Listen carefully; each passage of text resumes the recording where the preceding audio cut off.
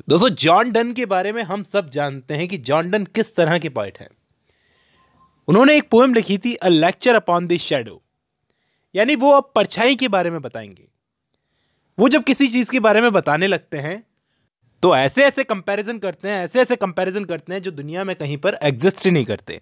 चलिए, इस पोएम को शुरू करते हैं। बड़ी खूबसूरत पोएम है। लेकिन पोएम को शुरू करने से पहले मैं आपको एक चीज़ बताना चाहूँगा कि जो लवर्स होते हैं ना जो लड़का लड़की आपस में प्यार करते हैं, दुनिया को लगता है कितना प्यार है दोनों के बीच में, लेकिन प्यार के साथ साथ एक चीज़ और होती है, जो दुनिया को दिखती नहीं है, वो है परेशानी। प्यार अपने साथ परेशानी लेकर आता है। यही इस पोएम की मेन थीम है। हम लोग पोएम शुरू करते हैं। पहली ही लाइन का पहला ही शब्द है स्टैंड स्टिल यानी सीधी खड़ी हो जाओ। शायद वो अपनी बिलेवेड को बोल रहे हैं जो उनके साथ में चल रही है। वो बोलते हैं कि सीधी खड़ी हो जाओ। सीधी खड़ी हो जाओ। हिलो मत बिल्कुल भी।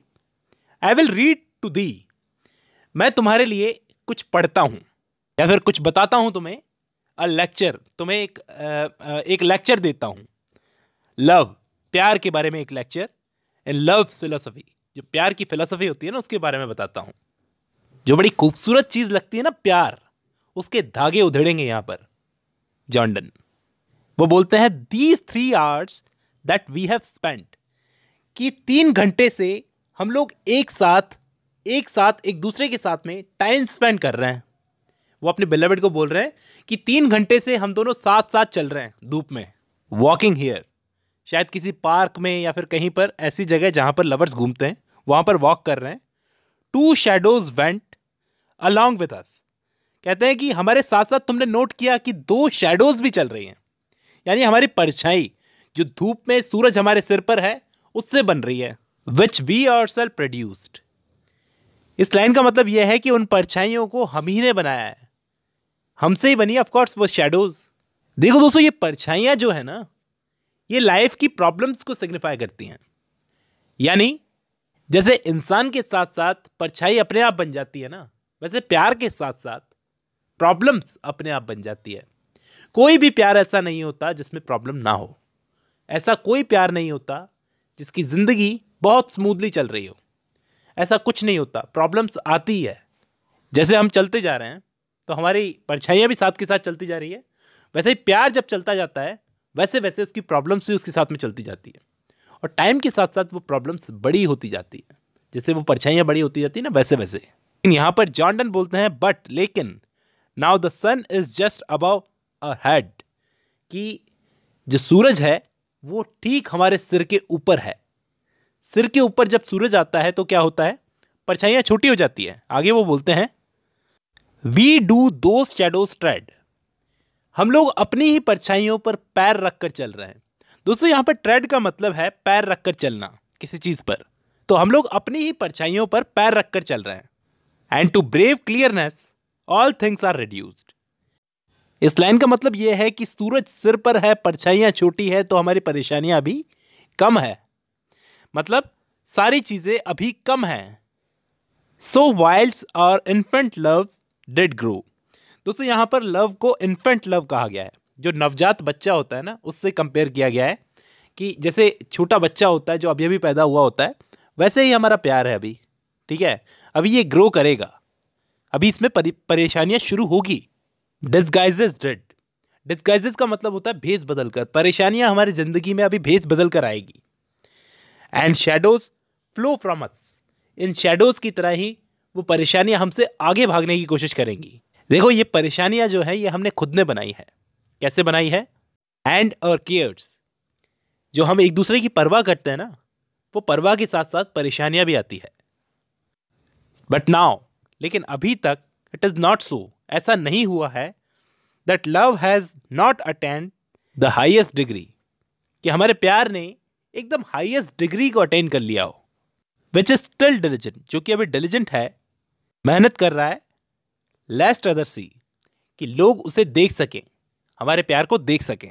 लाइनों में पॉइंट के कहने का मतलब यह है कि अभी तो हमारा प्यार फ्रेश है, अभी तो इसकी शुरुआत हुई है, अभी तो प्रॉब्लम्स इसने देखी कहाँ है, अभी तो ये इन्फ्रंट की तरह है, बिल्कुल फ्रेश है।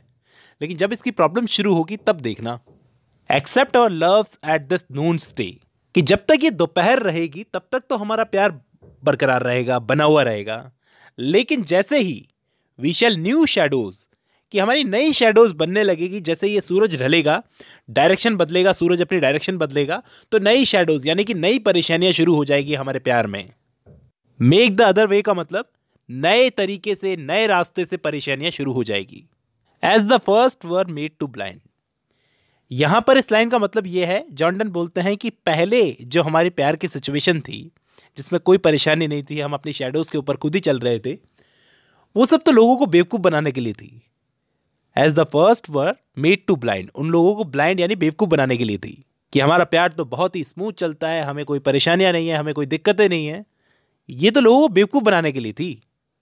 असली परेशानियाँ तो सूरज की डायरेक्शन चेंज होने से, नई परछाइयाँ बनने से, परछाइयों की लंबी होने से शुरू हुई है। यानी कि नई प्रॉब्लम्स अब शुरू हुई है हमारे प्यार में। Others these which come behind will work upon our self and blind our eyes अब तो चीज़ें बहुत बदल गई है, अब तो हर चीज़ बदल गई है। अब तो खुद ही हमें अब रियलिटी देखनी पड़ रही है। आगे जॉन्डन बोलते हैं इफ़ और लव्स फेंट कि हमारा प्यार जब वक्त के साथ साथ पीका पड़ जाएगा and westwardly decline westwardly decline का मतलब सूरज जो वेस्ट की तरफ़, पश्चिम की तरफ़ डूबता है, उसके साथ में कंपेयर किया गया है। जैसे सूरज डूबता है, वैसे डिक्लाइन हो जाएगा हमारा प्यार। तब क्या होगा? टू मी दाओ फॉल्सली दाइन तो हम दोनों भी एक दूसरे को ढंग से देख नहीं पाएँगे। जैसे जैसे प्यार फीका पड़ेगा, जैसे जैसे अंधेरा बढ़ता जाएगा, वैसे वैसे हम दोनों एक दूसरे को देख नहीं पाएँगे। कहने का मतलब पहले जैसे मैं तुम्हें देखा करता था, वैसे नहीं देख पाऊँगा। अब मैं तुम्हें अलग नज़रिए से देखना शुरू कर दूँगा और तुम भी मुझे अलग नज़रिए से देखना शुरू कर दोगी। जो हम प्यार करते थे एक दूसरे से, जो प्यार जताते थे, बोलते हैं जॉन्डन कि उसके बाद में क्या होगा? And I to thee mine actions shall disguise कि मैं अपने एक्शंस तुम्हारे लिए बदल लूँगा। उस वक्त, जिस वक्त जिस वक्त ये प्रॉब्लम शुरू होगी लाइफ के अंदर, हम दोनों का स्वभाव एक दूसरे के लिए बदल जाएगा। The morning shadows wear away जो सुबह के वक्त जो परछाइयाँ थी, वो तो अब मिट गई और नई परछाइयाँ बनना शुरू हो गई। But these grow longer all the day वो परछाइयाँ तो चली गई, लेकिन ये जो दूसरी परछाइयाँ, दूसरी प्रॉब्लम शुरू हुई है लाइफ के अंदर वो धीरे धीरे धीरे, हम ऑल द डे का मतलब पूरी लाइफ में वो बढ़ती ही चली जाएँगी, बढ़ती ही चली जाएँगी। अब तो वो बड़ी होती चली जाएँगी, ऐसे नहीं होगा कि सूरज सिर पे वापस आ जाए और परेशानियाँ छोटी हो जाए, अब तो वो परेशानियाँ बढ़ती चली जाएगी लाइफ टाइम तक। यहाँ पर जॉन डन कमाल की बात बोलते हैं बोलते हैं but oh love day is short कि प्यार का दिन बड़ा छोटा होता है। इफ़ लव डिके और तब क्या होता है? प्यार बर्बाद हो जाता है, खत्म हो जाता है। डिके का मतलब खत्म हो जाता है। लेकिन लव इज़ ग्रोइंग लव तो ऐसी चीज़ है जो हमेशा ग्रो करती रहती है और फुल ऑफ़ कॉन्स्टेंट लाइट एक ऐसा तारा सितारा होती है।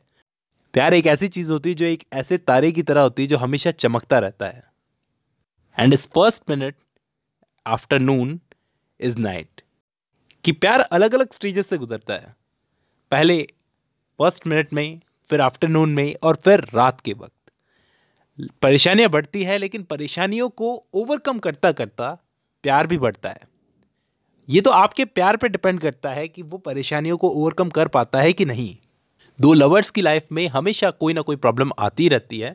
ये तो आप पे डिपेंड करता है, आपके प्यार पे डिपेंड करता है कि वो उन प्रॉब्लम्स को ओवरकम कर पा रहे हैं या नहीं। उम्मीद करता हूँ ये पोएम आपको पसंद आई होगी दोस्तों। आज की इस वीडियो में बस इतना ही।